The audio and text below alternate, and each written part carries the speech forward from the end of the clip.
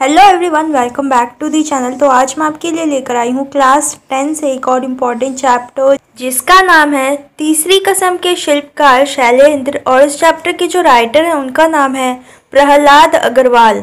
तो चलिए बिना बकवास किए इस चैप्टर को शुरू करते हैं। लेखक कह रहा है कि संगम नाम की फ़िल्म की आश्चर्यजनक सफलता के बाद फ़िल्म के नायक राज कपूर में गहरा आत्मविश्वास आ गया था। यानी कि जब संगम नाम की फ़िल्म जो है वो सफ़ल हो गई थी तो उसके बाद जो फ़िल्म के एक्टर थे राज कपूर, उनके अंदर एक बहुत ही गहरा सेल्फ कॉन्फिडेंस आ गया था, जिसके कारण उन्होंने एक साथ चार फ़िल्मों में काम करने की सार्वजनिक बात कर दी, यानी कि उन्होंने अनाउंसमेंट कर दिया। ये चार फ़िल्में थी, मेरा नाम जोकर, अजंता, मैं और मेरा दोस्त और सत्यम शिवम सुंदरम। परंतु जब राज कपूर ने 1965 में मेरा नाम जोकर नामक फ़िल्म में काम करना शुरू किया तो उनके मन में भी यह बात नहीं आई कि इस फ़िल्म के एक ही भाग को बनाने में छः साल का समय लग जाएगा। मेरा नाम जोकर फ़िल्म के एक ही भाग में जब छः साल लग गए तो इन छः सालों के बीच में राज कपूर द्वारा अभिनय की हुई बहुत सारी फ़िल्में प्रदर्शित हुई। यानी कि इन छः सालों के बीच में उन्होंने बहुत सारी फ़िल्में की। इन्हीं फ़िल्मों में सन 1966 में कवि शैलेंद्र के द्वारा बनाई गई फ़िल्म तीसरी कसम भी शामिल है। इस फ़िल्म में हिंदी साहित्य की एक दिल को छू लेने वाली कहानी को बड़ी ही सफलता के साथ कैमरे की रील में उतार कर चलचित्र द्वारा प्रस्तुत किया गया था। यानी कि इस फ़िल्म में हिंदी साहित्य की एक दिल को छू लेने वाली कहानी थी, जिसे बहुत ही अच्छी तरीके से फ़िल्म में दिखाया गया था। कहा जा सकता है कि तीसरी कसम फ़िल्म नहीं, बल्कि कवि शैलेंद्र द्वारा कैमरे की रील पर लिखी गई एक कविता थी। यानी कि कह सकते हैं आपकी जो तीसरी कसम थी, वो कवि शैलेंद्र के द्वारा एक लिखी गई कविता थी, जिसे उन्होंने एक फ़िल्म के रूप में सभी को दिखाया था। लेखक कहता है कि तीसरी कसम फ़िल्म कवि शैलेंद्र के जीवन की पहली और अंतिम फ़िल्म है। इस फ़िल्म को बहुत सारे पुरस्कारों से सम्मानित किया गया। तीसरी कसम को राष्ट्रपति स्वर्ण पदक दिया गया। बंगाल फ़िल्म जर्नलिस्ट एसोसिएशन द्वारा भी इस फ़िल्म को सबसे अच्छी फ़िल्म के लिए पुरस्कृत किया गया और भी बहुत सारे पुरस्कारों द्वारा इस फ़िल्म को सम्मानित किया गया। मॉस्को फ़िल्म फेस्टिवल में भी इस फ़िल्म को पुरस्कृत किया गया था। यह फ़िल्म कला से परिपूर्ण थी, यानी कि इसमें कला जो है, आर्ट जो है, वो कूट कूट कर भरा हुआ था, जिसके लिए इस फ़िल्म की बहुत तारीफ़ हुई थी। इस फ़िल्म में शैलेंद्र की भावुकता यानी कि सेंटिमेंट्स पूरी तरह से दिखाई देती है।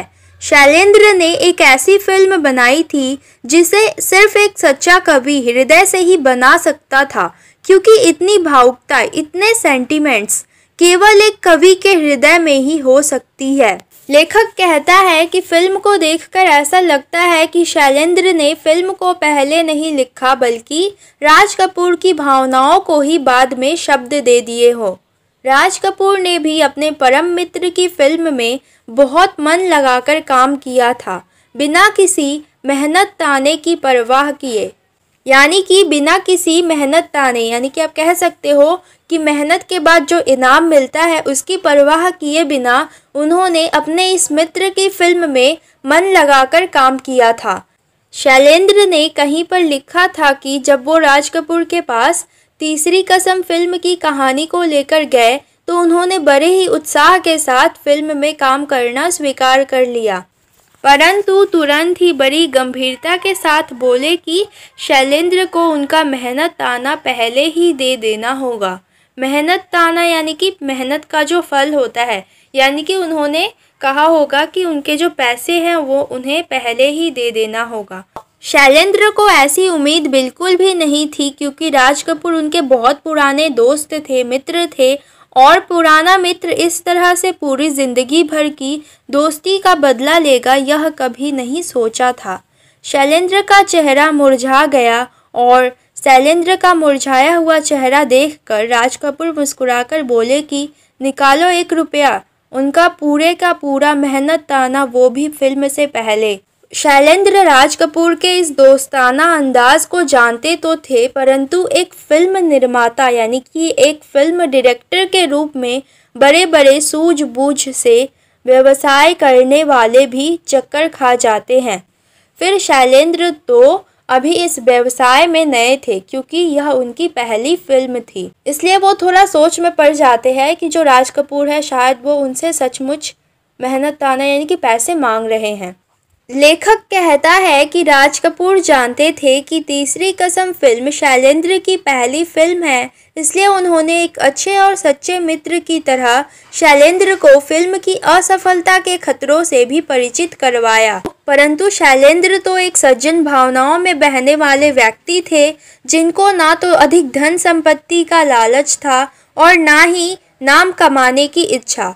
उन्हें तो केवल अपने आप से ही संतोष की कामना थी यानी कि वो खुद को ही सेटिस्फाई करना चाहते थे। तीसरी कसम फ़िल्म चाहे आज बहुत कामयाब फ़िल्मों में गिनी जाती हो, लेकिन यह एक करवा सच रहा है कि इसे पर्दे पर दिखाने, यानी कि इसे रिलीज़ करने और प्रसारित करने के लिए लोग, यानी कि डिस्ट्रीब्यूटर्स, बहुत ही मुश्किल से मिले थे। यहाँ तक कि तीसरी कसम फ़िल्म में राज कपूर और वहीदा रहमान जैसे बेहतरीन कलाकार थे। शंकर जय किशन का संगीत था, जिनका संगीत उस समय सबसे ज़्यादा पसंद किया जाने वाला था। और तो और इस फ़िल्म के पर्दे पर आने से पहले, यानी कि इस फ़िल्म के रिलीज़ होने से पहले, इस फ़िल्म के जो गाने थे वो बहुत ज़्यादा पसंद किए जा चुके थे। परंतु इतना सब कुछ होने के बाद भी इस फ़िल्म को खरीदने वाला कोई नहीं था। बात यह थी कि इस फ़िल्म की कहानी में जो भावनाएँ थी, उनको समझना किसी मुनाफा कमाने वालों के लिए आसान नहीं था। इस फ़िल्म में जिस करुणा के साथ भावनाओं को दर्शाया गया था, उनको किसी तराजू में नहीं तोला जा सकता था। यानी कि ये जो फ़िल्म थी, ये बहुत ही ज़्यादा सेंसिटिव थी। इसलिए जब बड़ी मुश्किल से तीसरी कसम फ़िल्म को पर्दे पर दिखाया गया तो इसका प्रचार नहीं हो पाया। यानी कि इस फ़िल्म का ज़्यादा प्रमोशन नहीं हो पाया, ये ज़्यादा लोगों तक नहीं पहुँच पाया। फ़िल्म को कब पर्दे पर दिखाया गया और कब फ़िल्म पर्दे से उतर गई, किसी को पता भी नहीं चला। लेखक कहता है कि ऐसा बिल्कुल नहीं था कि शैलेंद्र 20 सालों तक फ़िल्म जगत में रहे और उनको वहाँ के रहन सहन या रंग ढंग के बारे में कोई ज्ञान नहीं था। परंतु बात तो यह थी कि वो फ़िल्म जगत के उस रंग ढंग में फंसकर अपनी इंसानियत को नहीं भूलना चाहते थे। श्री 420 का एक बहुत ही ज़्यादा पसंद किया गया गाना है, प्यार हुआ, इकरार हुआ, प्यार से फिर क्यों डरता है दिल? तो इसके एक अंतरे की एक पंक्ति है तो मैं आपको बताती चलूँ कि जो म्यूज़िक होता है, जो गाना होता है, उसका दो पार्ट होता है, एक होता है स्थायी और दूसरा होता है अंतरा। तो इसके एक अंतरे की एक पंक्ति है, एक लाइन है, रातें दसों दिशाओं से कहेंगी अपनी कहानियाँ। तो इस पंक्ति में, यानी कि इस लाइन में जो संगीतकार थे जय किशन ने आपत्ति जताई थी। उनका मानना था कि दर्शकों को चार दिशाएँ तो समझ में आ सकती है, परंतु जो दर्शक है, जो ऑडियंस है, वो दस दिशाओं को समझने में परेशान हो सकते हैं। लेकिन शैलेंद्र इस पंक्ति को, इस लाइन को बदलना नहीं चाहते थे, इसलिए वो इस लाइन को बदलने के लिए तैयार नहीं हुए। वो चाहते थे कि दर्शकों की पसंद को ध्यान में रखकर किसी भी फ़िल्म निर्माता को किसी भी जो फ़िल्म बनाने वाला होता है, उसको कोई भी बिना मतलब की चीज़ दर्शकों को नहीं दिखानी चाहिए। उनका मानना था कि एक कलाकार का यह भी कर्तव्य है कि वह दर्शकों की पसंद को अच्छा और सुंदर बनाने की कोशिश करे। और शैलेंद्र का यह यकीन गलत नहीं था, क्योंकि दर्शक जो देखता है, उसी को सच भी मान लेता है। शैलेंद्र ने जो भी गीत लिखे, वे सभी बहुत पसंद किए जाते रहे हैं। शैलेंद्र ने कभी भी झूठे रंग ढंग या दिखावे को नहीं अपनाया। वे अपने गीतों, यानी कि अपने गानों में भावनाओं को अधिक महत्व देने वाले थे, ना कि अपने गीतों के, अपने गानों को कठिन बनाने वाले। मेरा जूता है जापानी, ये पतलून, इंग्लिस्तानी, सर पे लाल टोपी, रूसी फिर भी दिल है हिंदुस्तानी। ये गीत, यानी कि ये गाना, शैलेंद्र ही लिख सकते थे क्योंकि इसमें सच्ची भावना झलक रही है। उनके जो गाने थे, वो नदी की तरह शांत तो लगते थे, परंतु उनका अर्थ समुद्र की तरह गहरा होता था। इसी विशेषता को उन्होंने अपनी ज़िंदगी में भी अपनाया और अपनी फ़िल्म में भी इसी विशेषता को उन्होंने साबित भी किया। लेखक कहता है कि तीसरी कसम अगर सिर्फ़ इकलौती नहीं तो उन कुछ सफल फ़िल्मों में ज़रूर है जिन्होंने साहित्य रचना के साथ शत प्रतिशत न्याय किया है। शैलेंद्र ने राज कपूर जैसे कलाकार को अपनी फ़िल्म में एक छोटा आदमी हीरामन बना दिया था। राज कपूर ने भी हीरामन की भूमिका इतनी बखूबी से निभाया कि सभी को राज कपूर हीरामन ही लगे। यानी कि उन्होंने हीरामन का जो रोल था वो बहुत ही अच्छे से निभाया और लोगों को वो हीरामन ही लगे। लेखक कहता है कि हमारी फ़िल्मों की सबसे बड़ी कमज़ोरी होती है कि उनमें लोगों के जीवन से संबंधित चीज़ें नहीं होती हैं। फ़िल्में आम जीवन से बहुत दूर होती है, अर्थात उनमें वास्तविकता जैसा कुछ भी नहीं होता है। अगर फ़िल्मों में कहीं दुखद स्थितियों का वर्णन किया जाता है, यानी कि अगर कोई दुख परिस्थिति को दिखाया जाता है तो उसको बहुत अधिक बढ़ा चढ़ा कर प्रस्तुत किया जाता है। दुख को अधिक भयानक रूप से प्रस्तुत किया जाता है कि वो लोगों को भावनात्मक रूप से कमज़ोर कर सके और लोग ज़्यादा से ज़्यादा फ़िल्मों की ओर आकर्षित हो सके। परंतु तीसरी कसम फ़िल्म की यह खास बात थी कि उसमें दुख को किसी भी तरह से बढ़ा चढ़ा कर प्रस्तुत नहीं किया गया था, यानी कि बढ़ा चढ़ा कर नहीं दिखाया गया था। उसमें दुख को जीवन की सही परिस्थितियों की तरह ही दिखाया गया था। लेखक कहता है कि उन्होंने शैलेंद्र को कभी भी गीतकार नहीं कहा है, बल्कि हमेशा ही कवि कहा है। यानी कि उन्होंने कभी भी शैलेंद्र को एक म्यूजिशियन नहीं कहा है, एक सिंगर नहीं कहा है, बल्कि हमेशा उन्होंने उन्हें एक कवि ही कहा है। वे फिल्मी दुनिया की चमक दमक के बीच रहते हुए भी नाम कमाने और धन की अत्यधिक चाह से मीलों दूर थे। जो बात उनकी असल ज़िंदगी में थी, वो उसी को अपने गीतों में लिखा करते थे। उनके गीतों में सिर्फ़ दुख दर्द नहीं होता था। उनके गानों में सिर्फ़ दुख दर्द नहीं होता था। उन दुखों से निपटने या उनका सामना करने का इशारा भी होता था। और वो सारी क्रिया प्रणाली भी मौजूद रहती थी, जिसका सहारा लेकर कोई भी व्यक्ति अपनी मंजिल तक पहुँच सकता है। उनका मानना था कि दुख कभी भी इंसान को हरा नहीं सकता, बल्कि हमेशा आगे बढ़ने का इशारा देता है। शैलेंद्र ने अपनी फ़िल्म तीसरी कसम में अपनी भावना को प्रस्तुत करने की सबसे अच्छी कला का उदाहरण दिया है। मुकेश की आवाज़ में शैलेंद्र का जो गाना है सजनवा बैरी हो गए हमार। चिठिया हो तो हर कोई बाचे, भाग न बाचे कोई अनोखा ही बन गया। यानी कि ये जो गाना है, ये बहुत ज़्यादा ही अनोखा बन गया। अभिनय को देखते हुए, यानी कि एक्टिंग को देखते हुए, तीसरी कसम फ़िल्म राज कपूर के द्वारा उनके जीवन में की गई सभी फ़िल्मों में सबसे खूबसूरत फ़िल्म मानी जाती है। परीक्षण करने वाले, यानी कि जो जाँच पड़ताल करते हैं, और कला की परख करने वाले राज कपूर को आँखों से बात करने वाले कलाकार मानते हैं। उन्हीं राज कपूर ने तीसरी कसम फ़िल्म में मासूमियत से अपने किरदार को ऊंचाइयों के शिखर पर पहुँचा दिया। राज कपूर ने जितने अच्छे ढंग से तीसरी कसम फ़िल्म में अभिनय किया एक्टिंग किया, उतना तो जागते रहो में भी नहीं किया था। यानी कि जागते रहो फ़िल्म में भी उन्होंने उतने अच्छे से एक्टिंग नहीं किया था, जितना उन्होंने तीसरी कसम फ़िल्म में अपने रोल को निभाया था। जागते रहो में राज कपूर के अभिनय की बहुत अधिक प्रशंसा की गई थी। यानी कि जागते रहो मूवी में भी उनके एक्टिंग की बहुत ज़्यादा ही प्रशंसा की गई थी।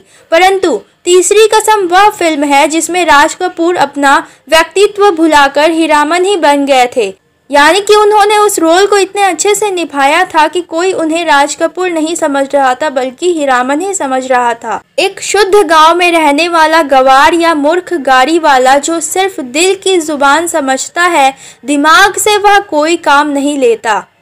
तो ये हीरामन के रोल के बारे में बात हो रही है। उसके लिए सिर्फ़ मोहब्बत ही ऐसी चीज़ है, जिसका कोई अर्थ है, बाकी किसी दूसरी चीज़ का उसके लिए कोई अर्थ नहीं है। लेखक कहता है कि तीसरी कसम फ़िल्म राज कपूर के फिल्मी जीवन में अभिनय का वह पड़ाव था, यानी कि एक्टिंग का वह पड़ाव था, जब राज कपूर को एशिया के सबसे बड़े शोमैन का स्थान मिल चुका था। राज कपूर का अपना खुद का व्यक्तित्व ही कहावत बन चुका था। लोग उनकी मिसाल देने लगे थे। लेकिन तीसरी कसम फ़िल्म में राज कपूर ने अपने उस महान व्यक्तित्व को पूरी तरह से हीरामन बना दिया था। पूरी फ़िल्म में राज कपूर कहीं पर भी हीरामन का अभिनय करते हुए नहीं दिखे, बल्कि वे तो खुद ही हीरामन बन चुके थे। यानी कि पूरी फ़िल्म में कहीं पर भी आपको राज कपूर नहीं नज़र आएँगे। जब आप फ़िल्म देखेंगे तो आपको लगेगा कि यह खुद हीरामन ही है। ऐसा हीरामन जिसको हीराबाई की फेनु गिलासी बोली पर, यानी कि हीराबाई की बोली पर उनको प्यार दिखता है, उनकी मनुआ नटुआ जैसी भोली सूरत पर अपना सब कुछ हारने को तैयार है और हीराबाई के थोड़े से भी गुस्से हो जाने पर अपने आप को ही दोषी ठहराता हुआ सच्चा हीरामन बन जाता है। तो ये हीरामन के कैरेक्टर के बारे में है। तीसरी कसम की जो मुख्य कहानी है, वह खुद लेखक फरीश्वर नाथ रेणु ने लिखी है, कहानी का एक छोटे से छोटा भाग, उसकी छोटी सी छोटी बारीकियाँ फ़िल्मों में पूरी तरह से दिखाई देती हैं। तो ये था हमारे चैप्टर का एक्सप्लेनेशन। आई होप आप लोगों को समझ में आ गया होगा। अगर नहीं आया तो एक बार फिर से वीडियो को देख लो। मुझे यकीन है कि आपको समझ में आ जाएगा। तो अगर अभी तक आपने इस चैनल को सब्सक्राइब और वीडियो को लाइक नहीं किया है तो कर देना। तो मिलते हैं आपसे नेक्स्ट वीडियो में एक और न्यू चैप्टर के साथ।